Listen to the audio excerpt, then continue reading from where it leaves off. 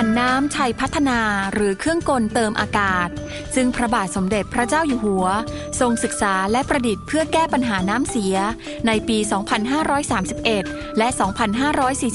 2544มูลนิธิชัยพัฒนาได้รับพระบรมราชานุญาต ให้จดสิทธิบัตรในพระบรมาภิไธยไว้กับกรมทรัพย์สินทางปัญญา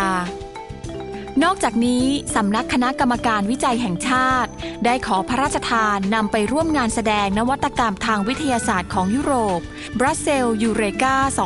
2000 ต่อมาสมาพันธ์นักประดิษฐ์นานาชาติ มีสำนักงานใหญ่ที่ฮังการี ขอพระราชทานทูลเกล้าทูลกระหม่อมถวาย รางวัลนักประดิษฐ์นานาชาติคณะรัฐมนตรีได้ถวายพระราชสมัญญา